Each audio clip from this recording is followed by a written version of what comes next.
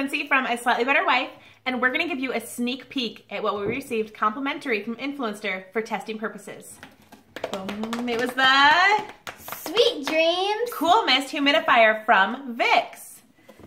This thing is awesome! Seriously, you guys, check this out. Some of the best features. It has a one gallon tank. This thing can run for almost 24 hours.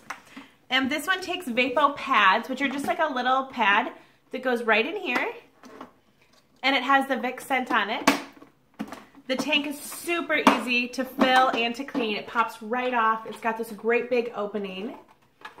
And this is so great for kids because it has a projector.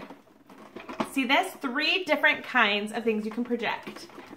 Starry Night and Safari and it's got sea too. Yeah, the sea creatures. So this is really fun, and each one has just a couple different images that it projects nice and clear up onto the ceiling. Um, our three-year-old especially really loves this. Yes. And really our 13-year-old and 8-year-old really love it too, because it's just cute and fun. So this thing is great. It's priced just under $50. You are actually getting a very good value because it runs so well. It can run so long. It puts the perfect amount of mist through this little opening here right up into the air.